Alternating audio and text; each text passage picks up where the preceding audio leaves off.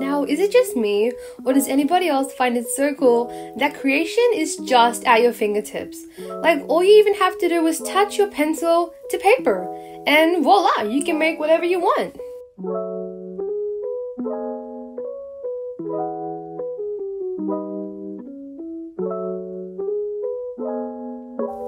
Hello guys, welcome back to my channel. It's Sparkle here and today we are drawing Princess Jasmine from Disney's Aladdin. But do you know what a really cool coincidence was? Yesterday when I was halfway through drawing Princess Jasmine, I got a notification from YouTube and I opened it up and one of my subscribers actually asked if I could draw Princess Jasmine and it was just so cool at the time because I was drawing her.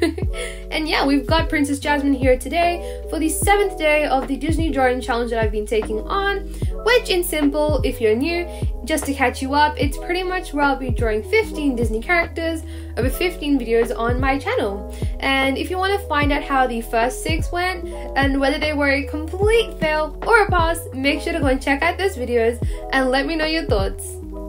So when I was drawing Princess Jasmine today, I tried doing something that I'm not necessarily the best at, and that is drawing her with crossed arms. Um, it was a little bit challenging, but I really wanted to draw her with crossed arms because I feel like that just adds to her entire confidence, and I also tried to add some confidence to her expression as well. And today we are actually going to be moving quite quickly past the line art stage because there actually isn't too much to see because it's a pretty simple drawing and even the coloring was quite simple because I did use different colors for shading but it was just pretty much her skin tone and a blue for her outfit, brown for her eyes, a goldish kind of color for her accessories, and black for her hair, which is why I decided to make things a bit more interesting by maybe drawing in a background. So